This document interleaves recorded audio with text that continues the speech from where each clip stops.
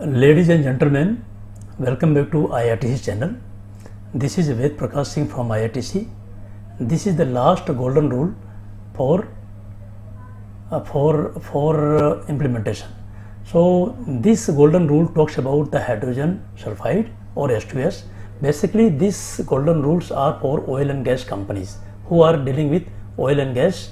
Uh, I mean uh, organization.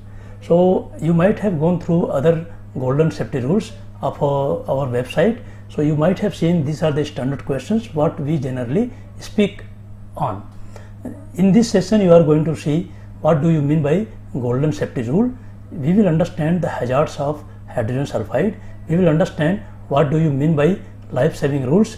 We will understand safety measures while dealing with H2S.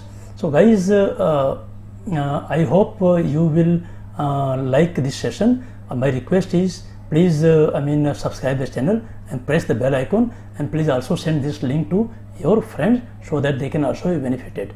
So guys now here we are privileged to allow you to use this link to train your operation team, your safety team, your maintenance team, your construction team, your engineering team. This slide can also be used for safety moment and you can also use to give a toolbox training. Guys, now let us understand what do you mean by golden rule or life saving rules or golden safety rules. So guys, this is nothing but only it is set of lessons learned from the serious incidents uh, which has happened in the past and which has ultimately become a work best practice. So this is a golden rule. So go, goal, serious means fatality or permanent damage. So golden rules and life saving rules are same thing. There is no difference some companies use the terminology as a golden rule, some companies use the terminology as a life-saving rule. There is no basic difference in golden rules and life-saving rules. Now let us understand what is the expectation of golden safety rule for dealing with hydrogen sulfide. Procedure, staff training, personal, collective protective equipments are required to work in presence of hydrogen sulfide or H2S. Hydrogen sulfide golden rule requires a hydrogen sulfide procedure shall be developed and implemented in all the locations where there is or it can be present. Personal device shall be always be used when working in an area where there is or it could be present of hydrogen sulfide. Safety sign shall be posted warning of potential presence of hydrogen sulfide. Nobody shall enter an confined space or an hydrogen sulfide classified area without authorization and without appropriate PPE.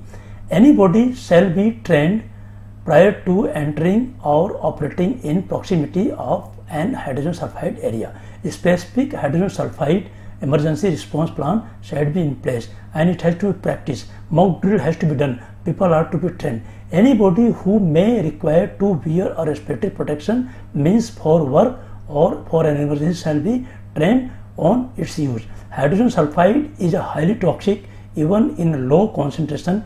It can be naturally present in soluble form in crude oil, water, mud, drainage and any other liquid when actively distributed or agitated it released from the solution as toxic H2S gas.